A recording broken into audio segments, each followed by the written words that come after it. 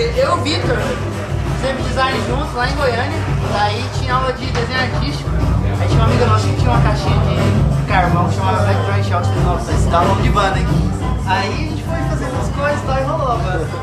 E o show daqui de hoje, como foi? Ah, foi. Qual esse tipo de show é o preferido. Show apertado, a galera atrapalhando, atrapalhando boa. Da Esse alegria. show dá vontade de continuar viajando. E a cidade é linda pra caramba. É, a cidade é legal, né, cara? A gente é goiano, acostumado, tá acostumado com frio, sofrendo bastante. Mas nós estamos aí, viu?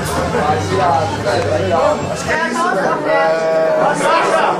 Na caixa, Ricardo!